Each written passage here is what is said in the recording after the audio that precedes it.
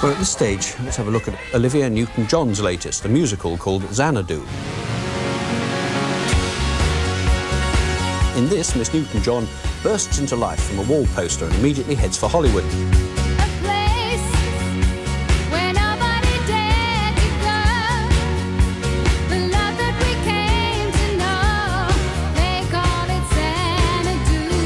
Xanadu. Gosh, I remember myself now. Again, I kind of disappear at the end. I have this thing with Grease. I go up in the car. Xanadu, I disappear into space. I was a muse. I was a muse. Come back in another life.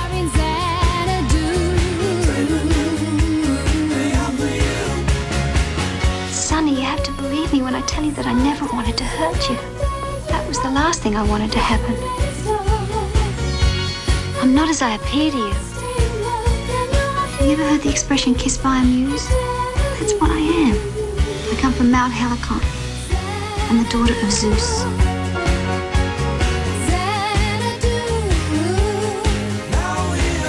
Gene Kelly had known me in a life before, and it was a good excuse to make a movie, I guess, like that. Universal Pictures announces the most dazzling romantic musical fantasy in years Xanadu starring Olivia Newton-John and Gene Kelly. Strangely enough, I don't have that much to do musically in the picture because I'm playing the role of a man who's retired. And when he was young, he wanted to be a musician. He got out of music, went in the construction business, made a tremendous amount of money, retired to Southern California, and misses it. When he runs into this young man, played by Michael Beck, whom we call Sonny in the picture, he meets him on the beach, and then he meets him in a shopping mall. and They get talking. And they seem to have mutual aesthetic and artistic interests. So we become embroiled, and I help him with his love affair, which is you know whom. Olivia Newton-John, yes. Mr. Beck looks bemused from start to finish. Mr. Kelly, all avuncular benevolence, grins so remorselessly that his cheeks must have stretch marks. And Miss Newton-John's behaviour is explained by the fact that she's an Antipodean muse who's been sent to Earth by her father, Zeus. I can only assume that Zeus is in his dotage and should be certified immediately. I kind of got a clue when I found out the director hated music. and he was writing it. And he was going through a divorce at the time. It looked like it may not happen. One, two, three, four. The music was great. John Farrar wrote half of it. Jeff Lynne from ELO wrote the other half of it. Kenny Ortega, who is an amazing choreographer, brought all these street dancers in. And the dancing style that's in that movie is popular now. It was 30 years ahead of its time, actually.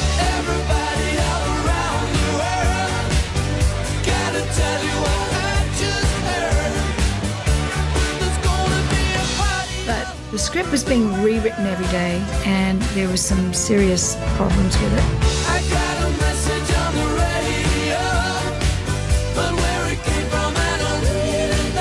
Luckily, we make the films for the public and not for the critics, otherwise we'd be in terrible trouble. And it seems to be that with Grease, for instance, I think the reviews were worse. It's an entertainment film, and that's all. It was made for people to just go and enjoy themselves and have fun. And it's not Ben Hur, it's a fun entertainment fantasy musical film, and I think it does that. Everyone that's seen it has enjoyed it, well, who I've spoken to.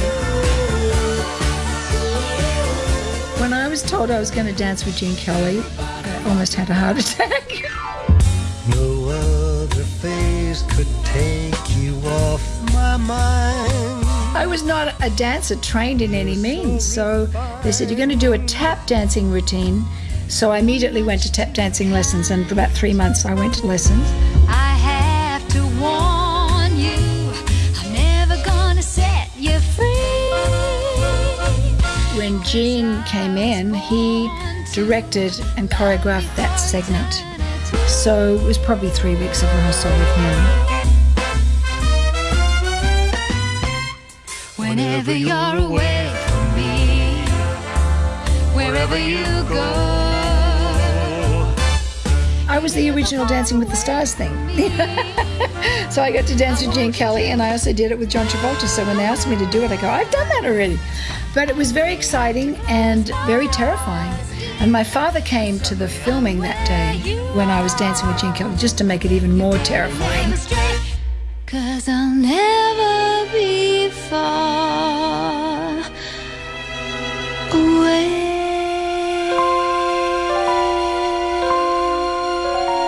my dad, I think he kind of wished I'd been an opera singer. I feel so embarrassed about this now, but I remember him taking me to the opera one time because he loved opera.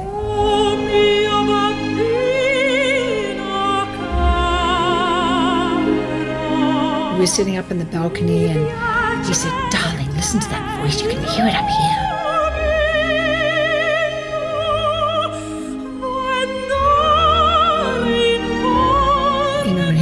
Using microphones and everything. I think secretly he kind of wished I'd been an opera singer.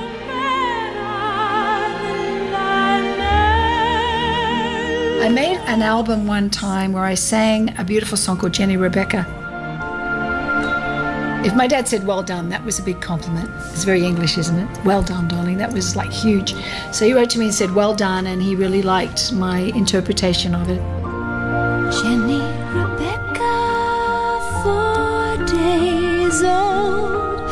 What a lucky, lucky, lucky, lucky girl.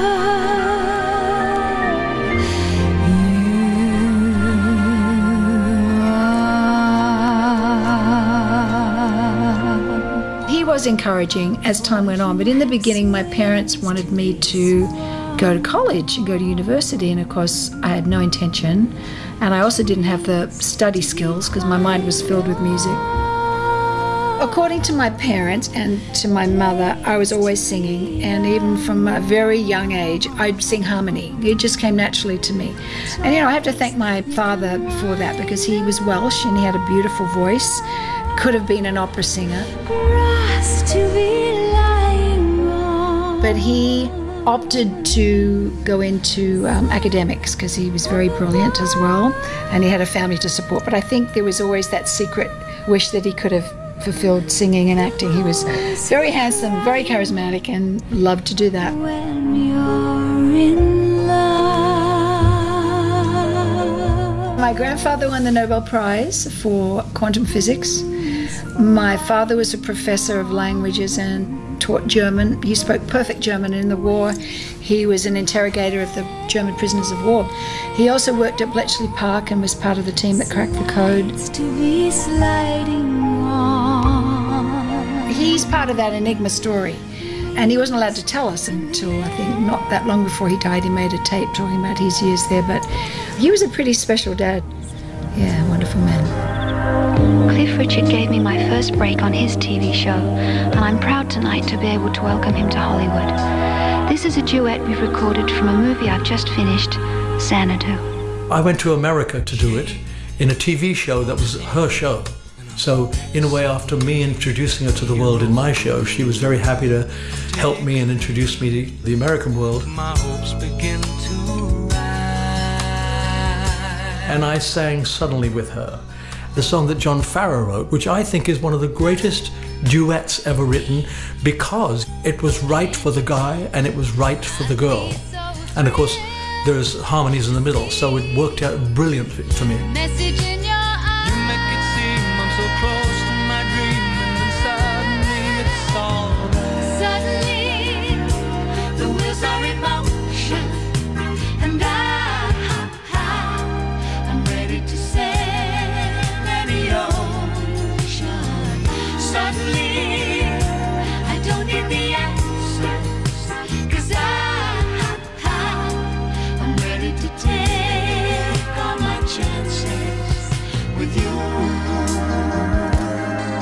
Most duets that I've done have been a little difficult. I mean, most duets that I've sang sung with females. You sing the bits that you can sing in your main chest voice, and then if it gets too high, you just drop an octave. And how can I feel With Olivia, and suddenly, it seems to me that it changes key.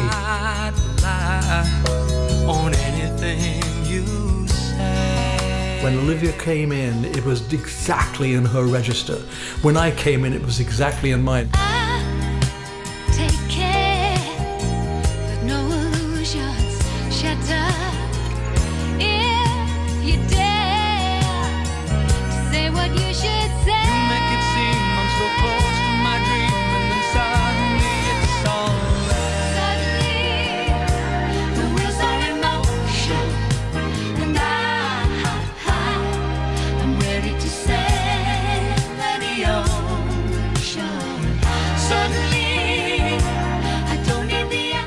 John Farrar.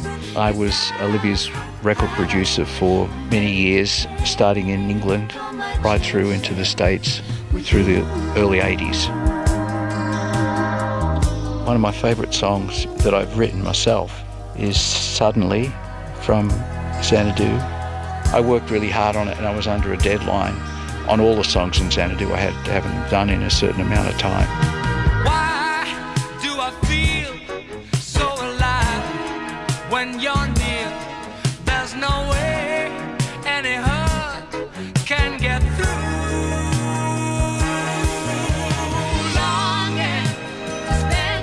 bridge on it, I was worried about it because I couldn't come up with a lyric like until 10 minutes before I had to present it.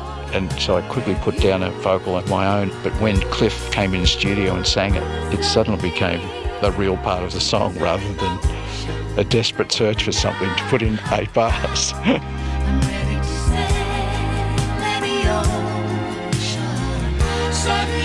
I spent a lot of time roller skates in Xanadu and actually fell down when we were filming suddenly because we were skating around all day, broke my tailbone, ended up at emergency and sat between takes on an ice donut. so that's my memory of that song, beautiful as it is. I remember the in between shots. We sang it live to the backing track.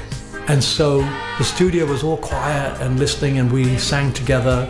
And once we had done it, all the crew applauded. And I thought, that is fantastic. These are hardened people who've seen the best and the worst, and they decided to applaud us and congratulate us on a good performance. Hmm. Hooray for Hollywood. You sing a fine duet, you know. Ah, I bet you say that to all your partners. Yes, I do. But I mean it. yes. Cliff was just the perfect choice because our voices blend so well and it's such a great song and it was wonderful to do that with him. I've always had a dream of doing a live gig, maybe a short tour or a run. You know, she's in Vegas a lot now. Vegas might work for this. She would be the character from the Xanadu, where she was this mythical, gorgeous, angelic creature, and I would be the earthling, and we'd have two stages, one 10 feet up. I would be on the bottom one, and somehow or another we sing duets and we only get together in the last 10 minutes. It's still a little dream of mine to do something like that.